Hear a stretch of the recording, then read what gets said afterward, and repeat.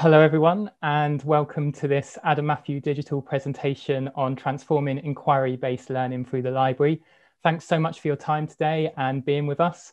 My name is Ben Lacey, and I'm joined by Nia Phillips, Maureen Maryanski, and James Anthony Edwards.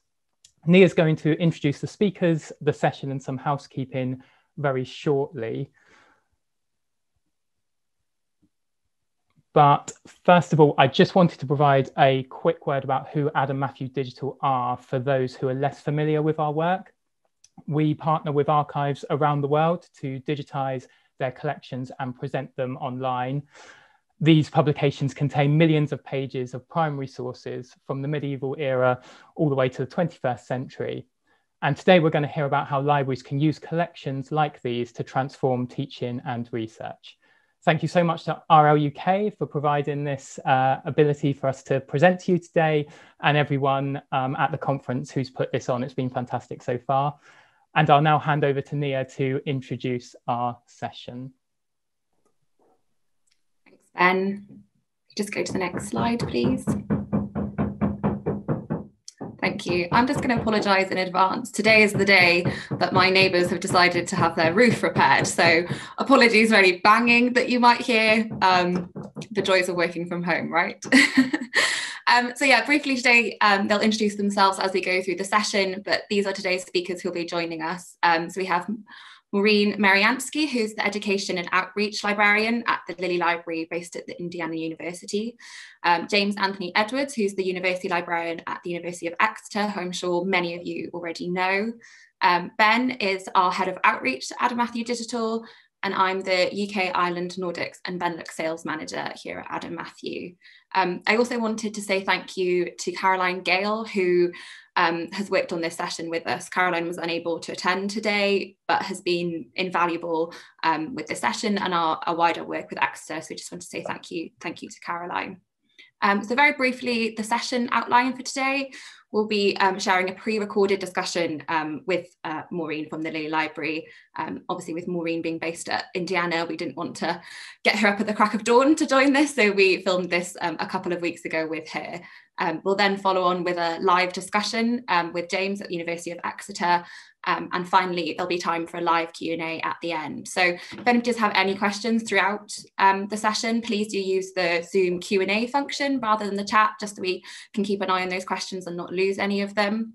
Um, also, even though Maureen isn't attending today, if anybody does have any questions specifically for Maureen, please do still ask those questions. Um, as Maureen has said that she's happy to answer any of those. Um, so we can kind of pass them on to Maureen and then, and then connect you with her. Um, similarly, if we run out of time at the end of the session, Ben and I are going to be at the Adam Matthew um, booth in the exhibit hall um, on kind of the joined live feature. So if you have any questions that you don't get um, answered during the session, please do pop by there after and we can answer them for you. Um, great, so we'll get started with that first um, pre-recorded discussion with Maureen. so I'll hand over to Ben now, who's going to share that with you guys. Thanks all. I would like to introduce our guest speaker, Maureen Maryanski from the Lilly Library. The Lilly Library is the principal rare books, manuscripts, and special collections library of Indiana University, Bloomington. Founded in 1960, it holds over 450,000 rare books and 8.5 million manuscripts, ranging from medieval manuscripts and early printed books to modern literary archives and mechanical puzzles.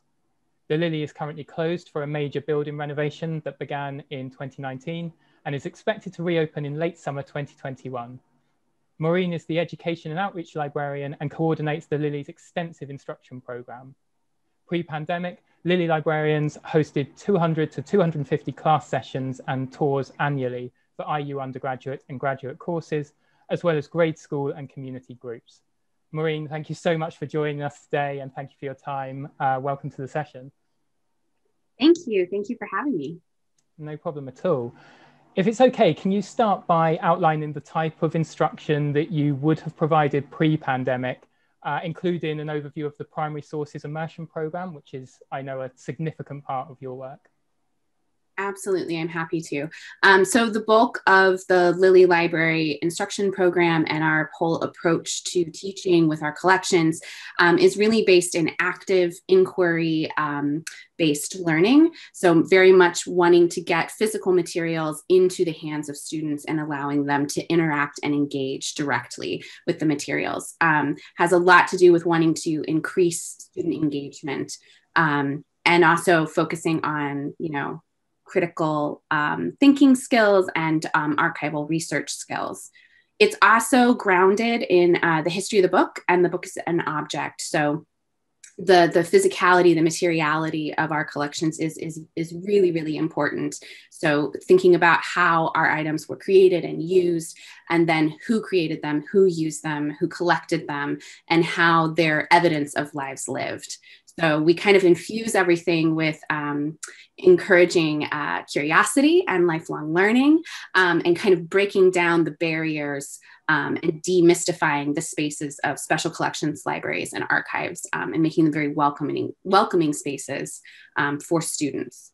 Um, a vital element of this kind of teaching, it, it, takes a lot of partnership and communication with faculty members and with instructors so that's that's like a key component of all of this is is the relationships that we build um, with instructors. So the primary source immersion program, um, we've done a few rounds of it. It started in 2017, and um, we've had three years. It's a grant program um, that my Lilly colleagues and I, working with um, colleagues in the IU Libraries Teaching and Learning Department, um, as well as the University Archives, uh, created this kind of three day workshop program for um, instructors. Uh, it's open to faculty as well as graduate student instructors to redesign a course to more closely integrate primary sources and the collections at IU um, into that particular course. So um, they go through a three day workshop in which we bring together um, repositories um, from across the IU campus. And this I mean, th- th- this is not just the, the libraries. We have colleagues from the Museum of Archaeology and Anthropology, from the Kinsey Institute, from the Black Film Center. Um, so all of these colleagues coming together and, and sharing what kind of teaching they do with their collections and how they can um, partner and work with faculty. Um, and it's been a wonderful program for people to um, start building community around teaching with primary sources. Um, it's kind of an identified gap in formal training of, of, of learning to teach with primary sources and incorporate them into, in, into classes. So it's been really nice. We've had great feedback from instructors about just how important and how wonderful it is to, to have to bring people together from different disciplines and different repositories and they're able to learn from each other and it can be a site of you know professional networking but also um, exchange around uh, pedagogy Sounds great. Sounds such a great program. Um, and can you tell us a little bit more about how, you know, in the situation we found ourselves in in the past year, how you've managed to transform that, you know, to an online environment? And you know, we talked a little bit about kind of the physicality being so important. How have you managed to kind of replicate that digitally? Absolutely. It's definitely been the challenge of the past year, um, job wise, at least um, for me. Um, it, and it's kind of compounded. So for us, the, the challenge of the pandemic coupled with the challenge of our current renovation because our, our collections and our staff are kind of scattered across our campus um, has meant for me it's meant a lot of creativity. So those challenges we've had to think very differently. So um, very reliant on at first just photos we had taken of the collection in order to kind of uh, present them and, and talk to students about them, but also some of the materials that we've uh, digitized in-house, um, as well as through databases uh, like Adam Matthew. Um, my philosophy the whole time has been uh, to try and come up with the simplest and easiest option, not just for me, but for students, so that we don't want to overcomplicate anything. We don't, we don't want to throw up more barriers, right? Um, that, that we already have some that we're working with and, and kind of limitations. We don't need to we don't need to overcomplicate or overthink right? So um, we've used zoom a lot. We've used we've wanted to make sure we can still get that active learning element into it. So um, we've utilized breakout rooms and group work, um, and kind of translating the activities that we had, trying to translate them into a virtual realm. And again, I've done it very simply with, uh, I use Google Docs and where the students can collaborate and kind of answer questions together um, in the group. And then I can kind of keep an eye on it and see if people are stumbling or is, is one room having issues and I can kind of address it from there. Um, and all of that is also then using links to either uh, digitized materials in a database, uh, in-house digitized materials. Um, I recently did one with medieval manuscripts where I took all the pictures so you can see my hand in the pictures and things like that. That's what we were able to give them. And so i have a folder of images for for students to work from. So again it's you know being just come up with a creative solution and kind of go with it. I've also had a lot of success with the the padlet program or um, tool. And um, that has been really wonderful because um, I'm, I'm, able students again can kind of collaboratively comment on, on images and i kind of streamline and simplify all of the activities and the questions that i'm asking students um, and yes, the materiality, the, the physicality, that has been a huge part of figuring out how to teach this year. Um, and one of the solutions that we've kind of come up with is, is using a document camera. And so since we do have access as staff members into our building, we've been able to go in and just set up with a document camera. And so I'll have students work with the digitized materials and we come back for discussion and I will have the physical materials and they can at least see me manipulate the, the materials and give them a sense of size and scale and put it under the document camera zoom in where we need to and kind of just start having the conversation about what is gained what is lost with digitization and kind of the comparison between digital surrogate and the physical item. Um, so that's kind of been my approach for this year it sounds uh, fascinating actually trying to deal with those challenges and yeah rising to them as well which is really good to see and being able to maintain that element of the physicality and just getting students thinking about what is this item how has it been saved and preserved? And then uh, maybe kind of connecting that with the digitized surrogates as well um, which is really good to see uh, so you did touch on uh, very briefly there about the role of digitized archival collections within that instruction as something that you point to um, as part of it. Can you say a little bit more about that and the role that digitized archival collections play? Absolutely. Um, I mean, it's they're vital. I I wouldn't be able. I don't think I'd be able to teach in any really meaningful and active way without having access to digitized materials, whether they're um, digitized in house or we're working through a database.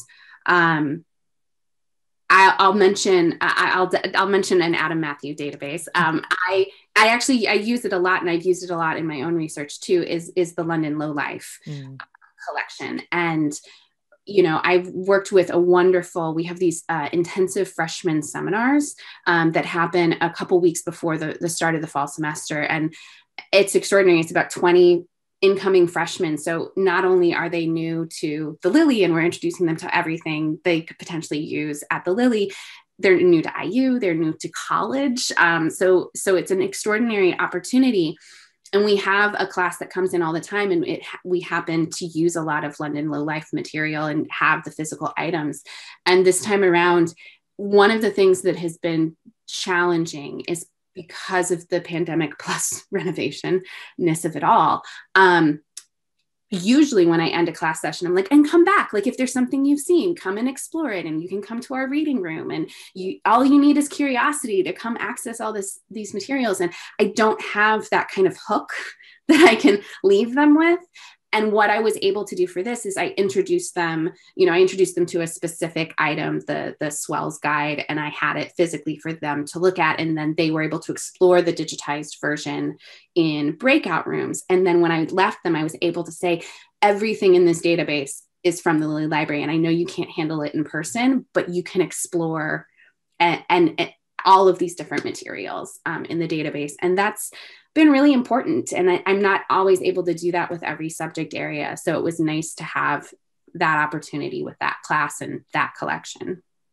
That's really exciting. I and especially because it was a freshman class i think that um, i'm really struck by that because sometimes people are a bit hesitant about using archival collections or primary sources generally with first year undergraduates so did they react quite positively to that experience oh absolutely it's um oh, it was one of the best virtual sessions that I've had. They were so enthusiastic. I actually, I very much underestimated the amount of engagement and how much they would talk. This is another thing that I have come to realize over the last year is in the virtual realm because they can ask questions in the chat and they don't necessarily have to unmute they don't necessarily have to physically speak um, students are very chatty and they have a lot of questions and i love it.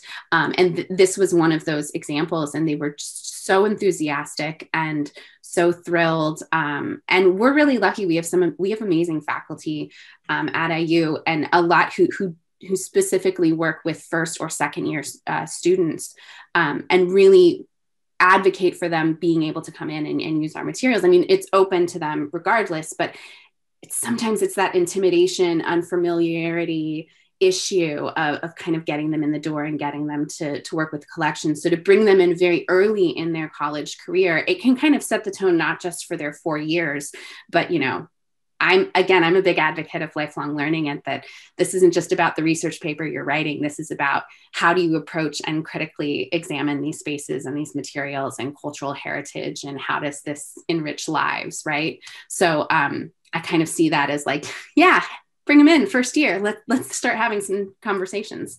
Yeah, definitely.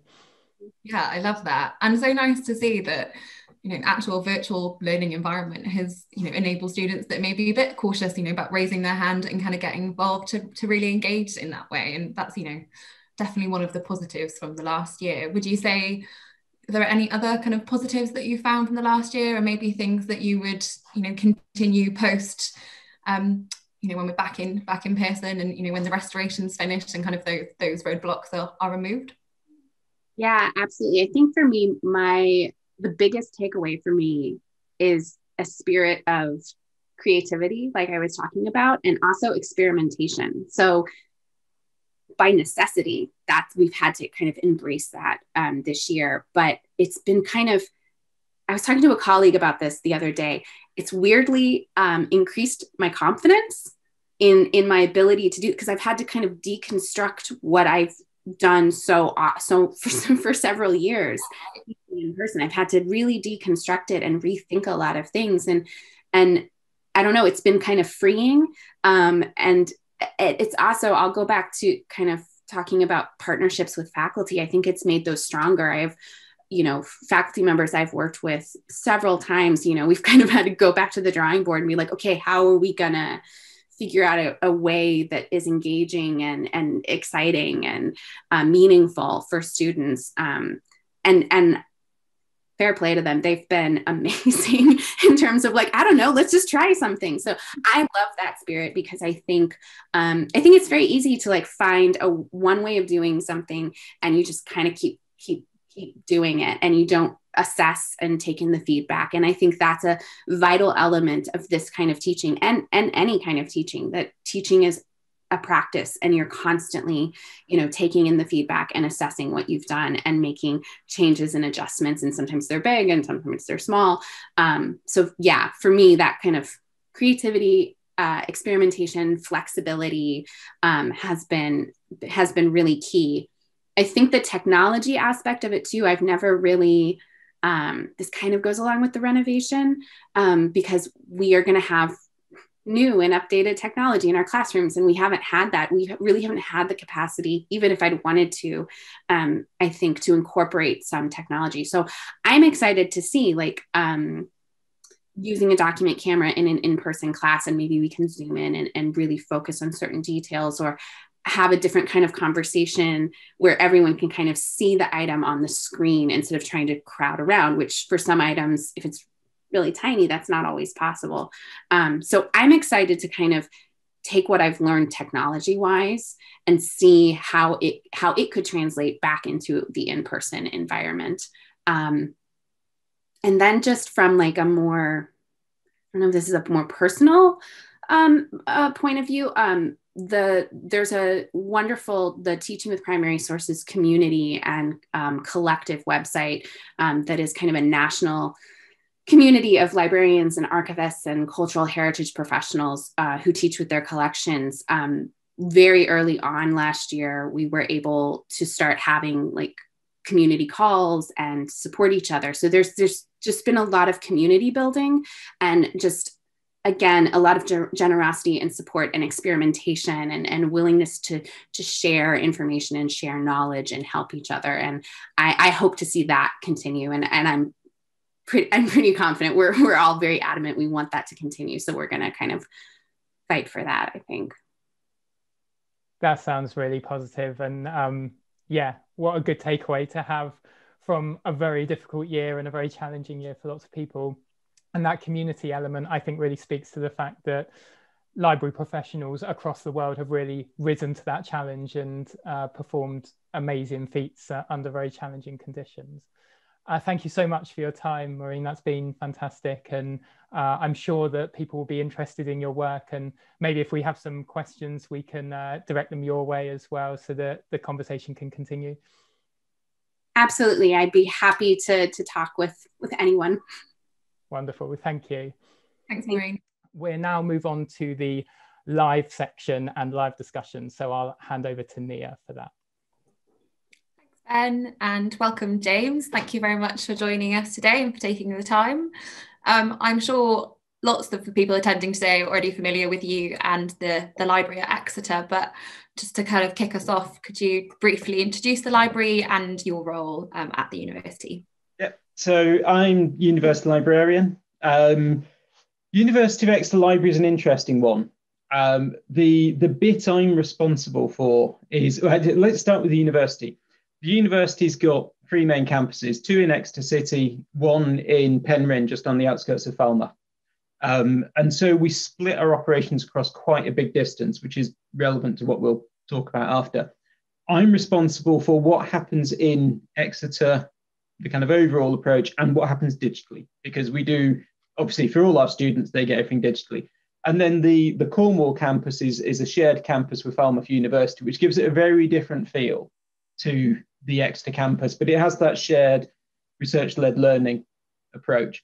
Um, in terms of the library service we're um, fairly similar to a lot of kind of research intensive library services. And the only difference, which a lot of people have heard me banging on about, is we have a very, very small team indeed. Um, but we have we have your usual run of modern collections. We have some really strong special collections, um, which we'll come to, but in areas like Southwest Writers. So we have the manuscripts of Lord of the Flies. We have Daphne du Maurier's papers. A really strong Middle East collection. We also have a fantastic digital humanities lab and digital humanities team, which which which is very, very, we're keen on matrix management at Exeter. And the Digital Humanities Lab is very matrix managed. So I manage the head of Digital Humanities, but also in that team are IT people, technical services people, um, and academics from humanities. So we, we, we spread ourselves across um, most areas and, you know, like everyone else, take the lead on things like research data and open access. But yeah, we, we, we cover two counties um, as well as people in countries all over the world. Thanks, James. It's a small task then. um, something that we've been thinking about quite a lot is the library's 21st Century Research Library Project. Could you tell us a little bit more about that project and kind of where it came and came from and kind of where you're at at the moment?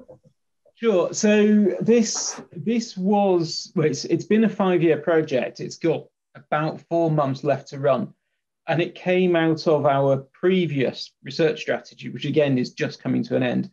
Um, one of the things I should have said about Exeter is we're very much at a transition point at the moment because our previous VC, Steve Smith, who a lot of people have known from his UK working things, retired last summer, and we had a new VC, Lisa Roberts. So we've got a lot of, not only because of COVID, because of new senior leadership, we've got a lot of change coming.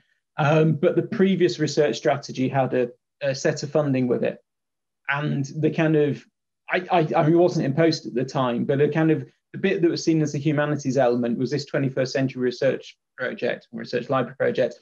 It's got three different elements to it. The, the smallest, the least developed, but potentially one of the ones that really needs some looking at is around linking the university archive into local archives. And there've been some workshops, but there's with our with our civic university commitment, there's there's real potential to do more with that element. And I think that's one we're going to have to look at more. The two bits which had money, which is the bit that always makes things work, um, were investment in primary sources and investment in our special collections. Um, I'll touch on special collections first, and then I'll come to the primary sources. So our special collections team before this, I think, had about three people in it, um, and we doubled it. Um, it, the, the total funding, not just for the staffing, but for the resources, was about one and a half million over five years, but it, it varied across time as to when that money came in. Um, but those, those project cataloguers uh, were working on Middle East collections. They were working on the archives of the Northcote Theatre, which is the, the largest theatre in Exeter.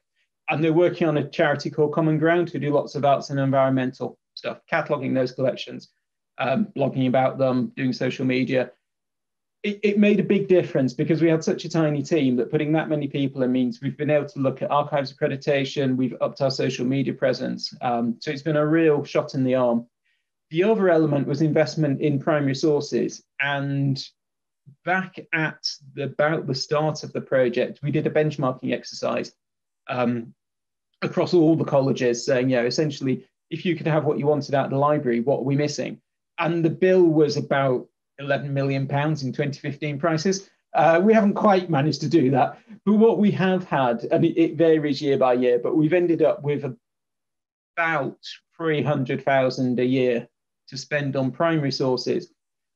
We we target all colleges, um, so it's it's predominantly humanities, social sciences, but we have humanities people in our social sciences college. We have humanities and social sciences people in our business school geographers have been have been buying things. What that's really done is the special collections arm was a big shot in the arm directly for special collections. But what the 21st century library funding has done is really gives a fresh direction. This all started under my predecessor, Claire Pound, who really took us down a much more digital route than we had been before.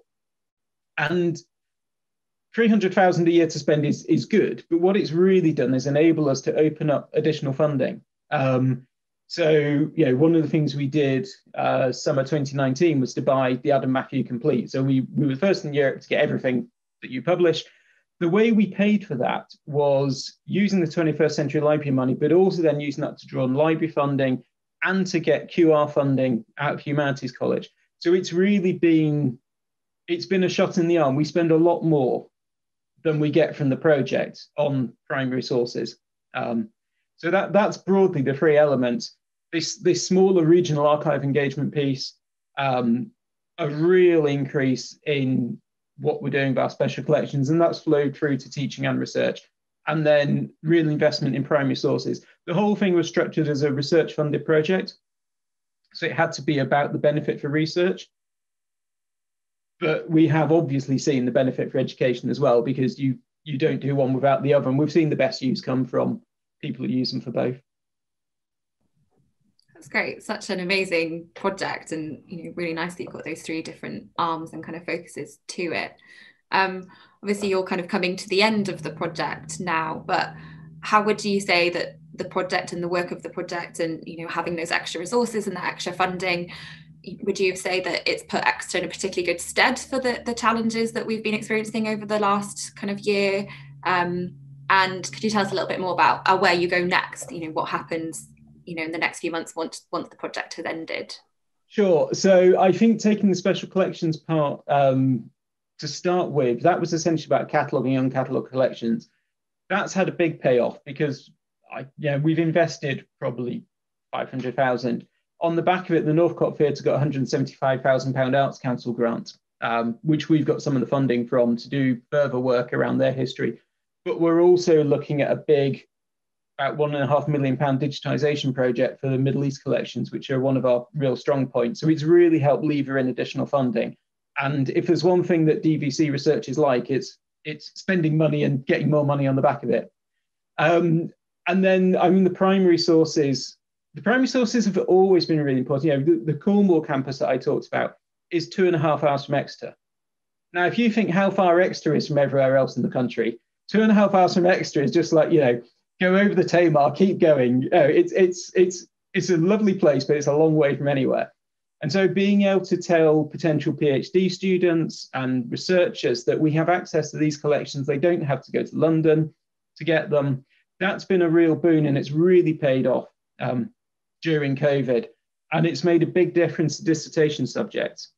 Yeah, we, we, we have a very small, it's about £5,000 a year fund to pay travel costs for students, undergrads and PGTs to go to other libraries and, and obviously nobody's been doing that, but they've been able to get access to the primary sources and structure their research around it. So I, I think we really would have struggled because we don't have quick and easy routes to get elsewhere for primary material.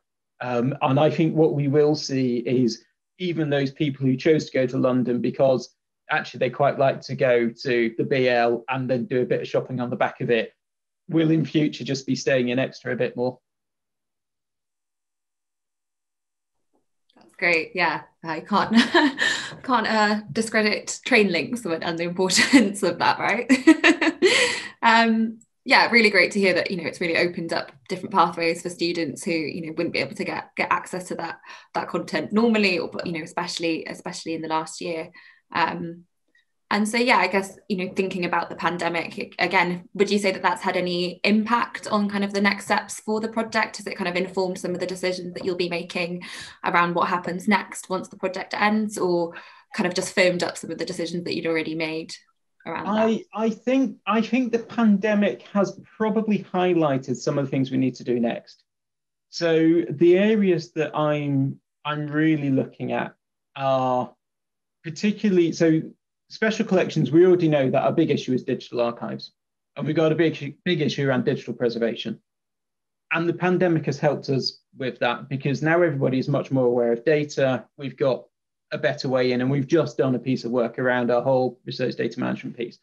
So it's helped with that. But around primary sources, the areas I'm really looking at next are how do we integrate? And it was really interesting to hear, um, you know, the, the, the last set of integrations that talked about that how do we bring our primary source bought collections closer to our, our special collections? Um, decolonization is big on our list. Um, and that we're, we're, hoping to get some funding for a project across the colleges, and the primary sources will be will be part of that. And then the other one that we're working on at the moment is for our digital humanities, um, and not just our digital humanities lab, but for digital humanities generally in the university. We're working on a new strategy and the big question there is what does digital humanities education look like? So one of the things I'm going to be looking for is how do we integrate the primary source collections into digital humanities education? So it isn't simply here's access to primary sources, this is how you interpret a primary source. But actually, how do you get under the skin of that and you really do that, that digitally enabled research? So, you know, how do we support our students to learn text and data mining? Uh, we've got real strengths in 2D and 3D imaging. We've got real strengths in geolocation. How do we bring those in? How do our primary source collections relate to what we've created in-house? Um, some of which is digitization of other people's items, some of which is digitization of our own collections. There's there's real potential there to really shake up our digital humanities education, and that's that's a very very live conversation at the moment. It's really exciting. Yeah, it'd be really great to get that, you know, more students and kind of more undergraduates involved in in that type of work. Um, speaking about kind of the students kind of element of it and you know you mentioned that you know obviously Exeter the, the first university in Europe to kind of access to the entire Adam Matthew portfolio. Um, could you tell us a little bit more and kind of maybe some feedback from some of the teams that you know in your um, department about how having access to that material has transformed transformed the, the library, the learning experience of um, the students and the library's patrons? Again, apologies for the banging background. I, it, it's made it's made a huge difference. I mean, the feedback from the academics is is often around third year students, dissertations. Um, the best ones have built it into their into their courses, um, but it really helps those students who want to stretch themselves um, to step off the reading list and really go and dig into things for themselves. So I think we found it. You know, our, our whole thing, our, our education strategy talks about a research education ecosystem. And that's exactly what this is about. It, it's, it's helping those students who want to push themselves that bit further to be able to go and do that original research.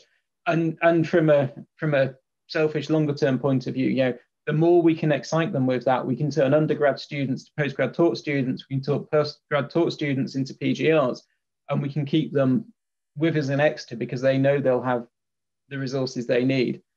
Some of the ways we've supported them to do that is we use LibGuides heavily. I mean, I've touched on the staffing bit, and I won't, I won't, you know, drum it, but the way the way we responded to what is a 43% reduction in staffing over about seven years is to go very, very digital. So we use LibGuides really heavily. So we have themed LibGuides for our primary sources around country, around date, around format, and then around theme. Um, and then we have, yeah, we have a kind of a lib guide for the Adam Matthew collection. So we, we try and give people multiple ways into the sources. Um, and that, that seems to be working really well. And in many ways, the pandemic has made that a little bit easier. So the liaison team have found it easier to teach over Teams um, than they did previously. And we had a whole discussion when we went into lockdown. You know, do we need to provide rooms at two meter distance to deliver face to face teaching? In the end, we said, you know, it's just a lot easier. Everybody's got Teams. Let's just go to Teams, and and we have done, and it's it's made a big difference.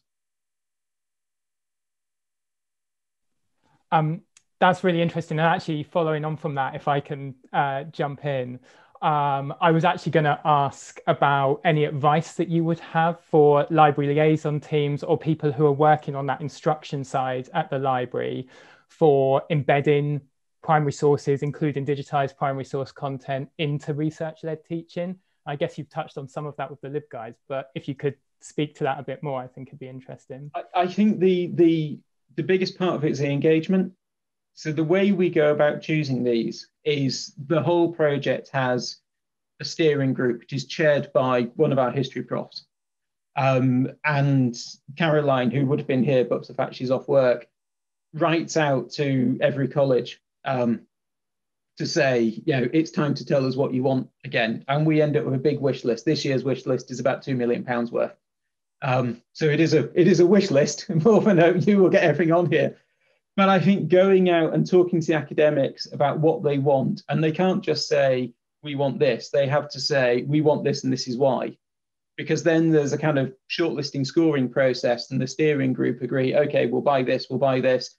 And then we get into negotiations. Okay, where do we pull in library funding? Can we get any other money from the colleges?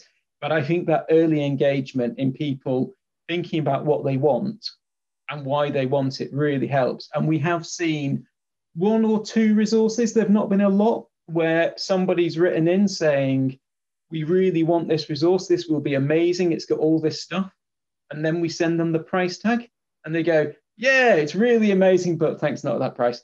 Um, you know, I mean, we, we have literally had people, and this was pre-pandemic, we have literally had people say, actually, maybe we could send people to London for, for really quite niche resources.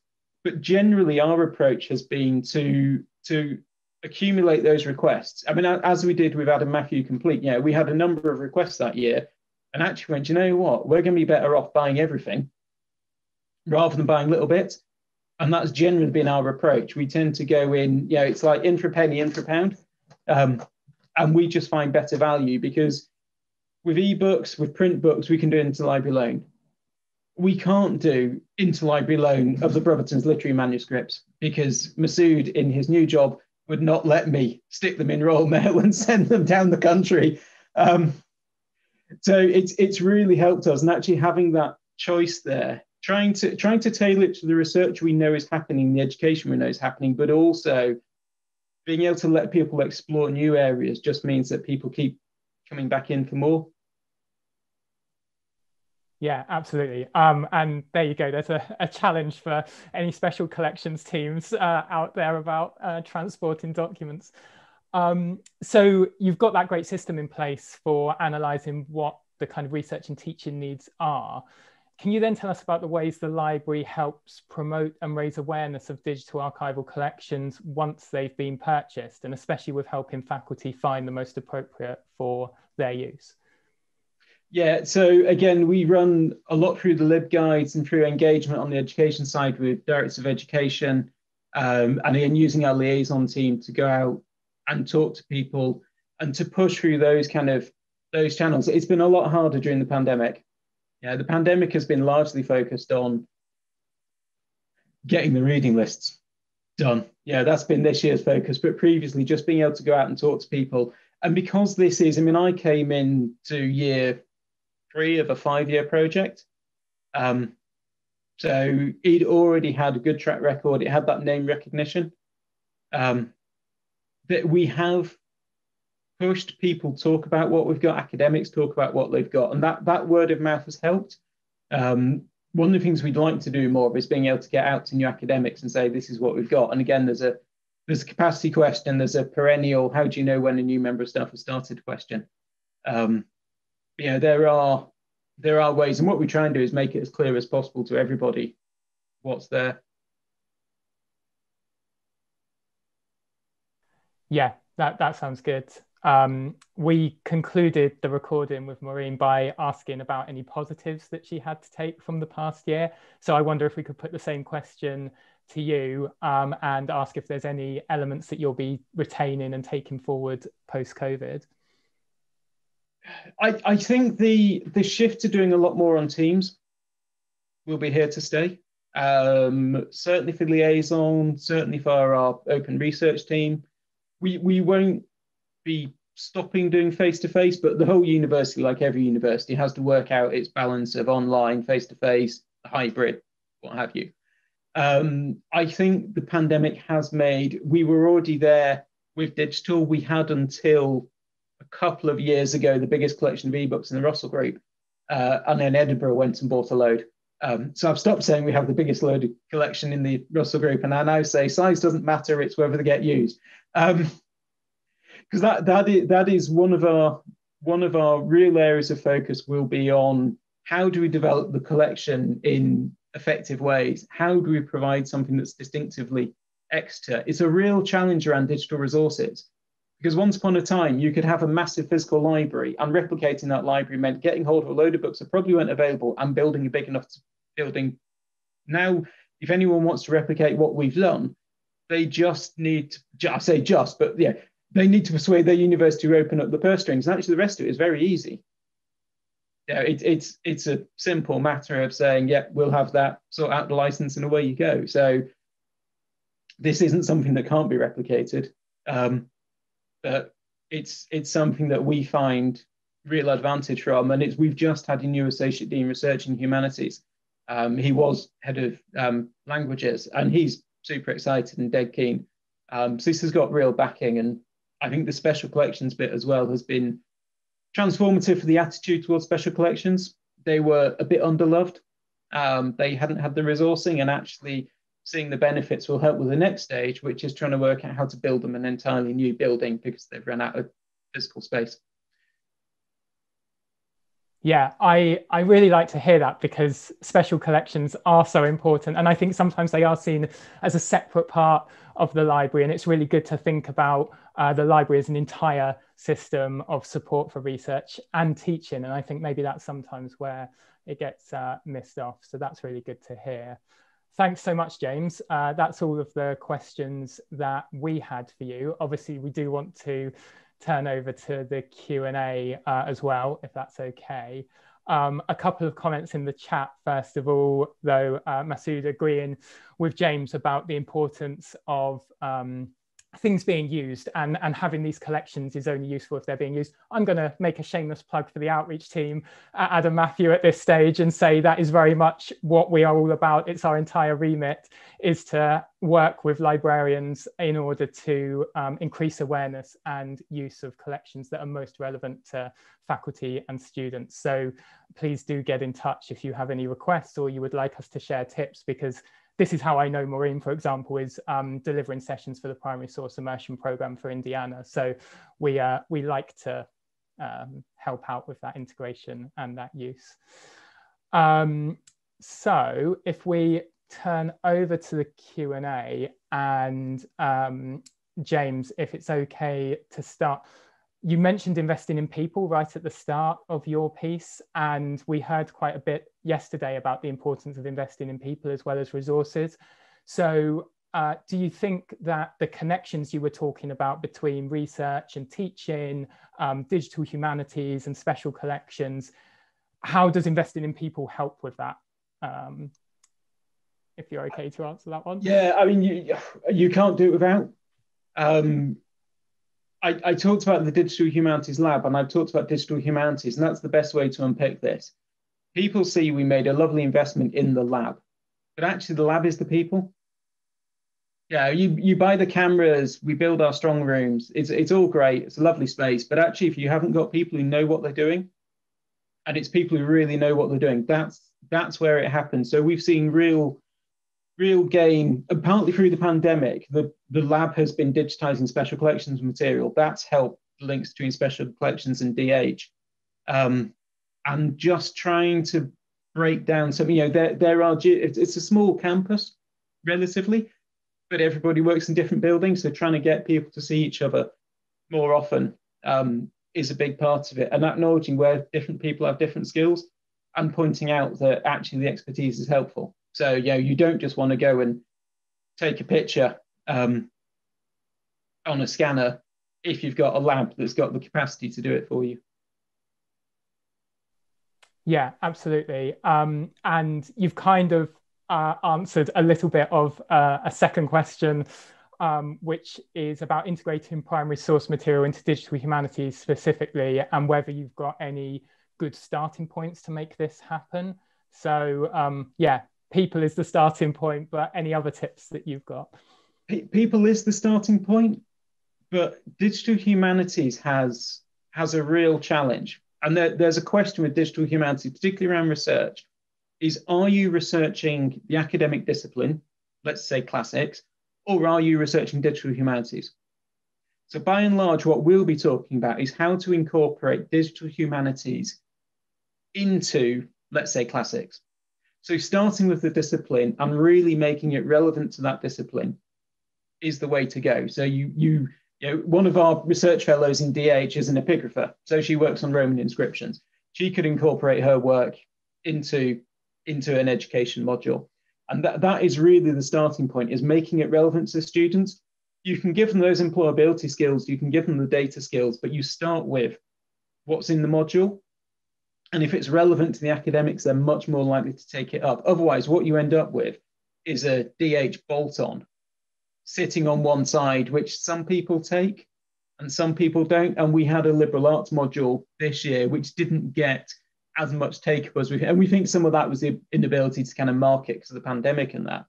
Um, but it's that it's really integrating it into what people are doing is where is is the place to start um, and giving people the skills. So we have a small team, but we also have a lecturer um, with a DH background um, who he does criminal history, I think, um, and he's done great stuff with some of our resources. Um, but I think it, it is it is building into the curriculum. Yeah, um, to actually to follow on from that, if it's okay for me to provide a little bit of an answer from my perspective as well. There's a couple of liberal arts colleges in Pennsylvania that um, done a little bit of work with, but it's very much driven by them. I don't want to take credit for any of this. Uh, but the libraries there have an internship program that runs each summer where they get undergraduate students in. Um, they're, they're paid, it's a proper paid internship. It's a six to 10 week program. And they are there to be trained on digital humanities skills by experts at the library, uh, but also to run their own DH project using primary sources that are available through the library. That might be in special collections, it might be in digitized collections. And the idea is that they then go and act as champions in the classes that they take part in. So if a faculty member, I mean, these are small liberal arts colleges, so it's maybe a little bit easier to do. I don't know how it would scale up, but if a class um, are being instructed on a particular subject, They've then actually got undergraduate students in that class who can act as champions for knowing who to contact at the library, knowing what might be possible, knowing how to bring primary sources and DH together. And I really like that as a kind of student led model. Um, and yeah, um, again, I can provide details of contacts for anyone who wants to hear more. And that was going to be my second shameless plug. Uh, Adam Matthew do actually have a webinar coming up in April on digital humanities using Adam Matthew collections. So if you'd be interested in finding out about our policies around that, about the fact that you can request exports of all of the metadata and full text data from your Adam Matthew collections, uh, and also some case studies of projects that have uh, used that data in the past, um, please do have a look out for that. Get in touch with us uh, and we can send you a link to that because um, yeah, we're really keen to support this kind of work using primary sources. Um, anything, sorry, James, anything else yeah, to add? Yeah, I was going to say that, I mean, our lab wouldn't function. When you walk into our lab, into the DH lab, the first person you will see is a is an undergrad. Um, so we have a, an annual round of interns. We have we call them graduate business partners. You know, kind of eighteen month post graduation contracts as well, and they really get stuck in. And they often move from intern to that to that graduate business partner role. Um, and they they they learn all the techniques. Um, they they help run the lab with the lab manager. Same's true in special collections, and and that's been a real challenge for this year is bringing in interns. And the beauty of digital humanities and special collections is you can give them work to do remotely um, we're looking forward to getting them back on campus because we need to get them actually sitting in the archive working on the physical excellence, but it'll come.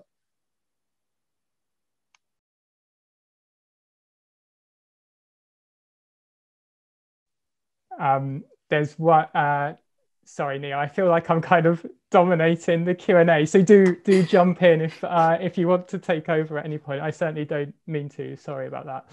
No, no um, problem at all. I was just going to say I popped a link in the chat to where you can pre-register for that webinar um, around digital humanities that Ben mentioned. So if there's anybody that's interested in attending that, um, that's in the chat now.